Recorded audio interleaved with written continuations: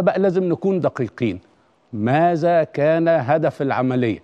عشان جنرالات المقاهي وأساطين الإنترنت قالوا إن هدف العملية كان الاشتباك مع هذه الم... لا هدف العملية كان نمرة واحد التعرف على مكان موقع هذه القوة وقياس عددها وتسليحها ثم بعد ذلك بعد هذه المهمة الاستطلاعية يتم تشكيل قوة قتال من الشرطة وممكن يكون معها قوات أيضا من الجيش من أجل تنفيذ عملية القضاء على هذه المجموعة.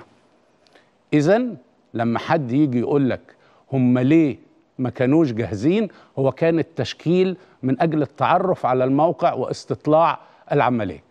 هتقول لي طب لما قوات بتطلع بهذا الشكل ما بتكونش مجهزة للقتال؟ أيوة بيكون مجهزة للقتال للدفاع عن نفسها لكن ما كانش من منظور أن هي عملية إيجابية. يعني الهجوم يبدأ من عندهم الآن. كان ده وفد أو مجموعة مقدمة تأتي للاستطلاع الموقع ومعرفة تسليحهم والتأكد من وجودهم. قامت من خلال وجود المعلومات المتوفرة عنهم عندهم من خلال قصاصي الأثر من خلال مرشدين موجودين أنهم يعرفوا بالضبط أين يوجد هذا المكان. حينما وصلوا إلى كيلو 135 من الواحات وفي منطقة من الناحية الجغرافية منخفضة منخفضة تبين أو علم التنظيم الإرهابي والمجموعة الإرهابية اللي هي كانت حوالي 16 واحد هم كانوا حاطين ناس على تبة فوق بيراقبوا المكان. القوات القوات بتاعت الشرطة كانت في مكان منخفض والتبة عالية كده أظن واضح. ألف باء أي عملية أمنية أو عسكرية أن من يحكم أو يتحكم في الموقع الأعلى يتحكم بقوة في الوضع الاستراتيجي أو في القتال.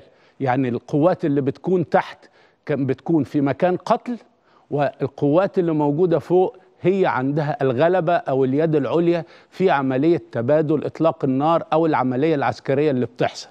ولما في حد بيكون بيضرب نار من تحت لفوق غير لما يكون حد بيضرب نار من فوق لتحت.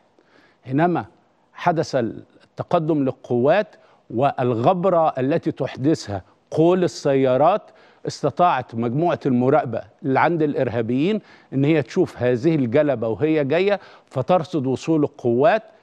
القائد بتاعهم اللي اسمه الشيخ حاتم وهو ضابط مصري سابق اسمه عماد الدين عبد الحميد أعطى الأوامر بترك القوات تدخل حتى نقطة اقتراب 150 متر عشان يكون في مرمى الأسلحة بتاعته. وحدث الاشتباك وحدثت العملية.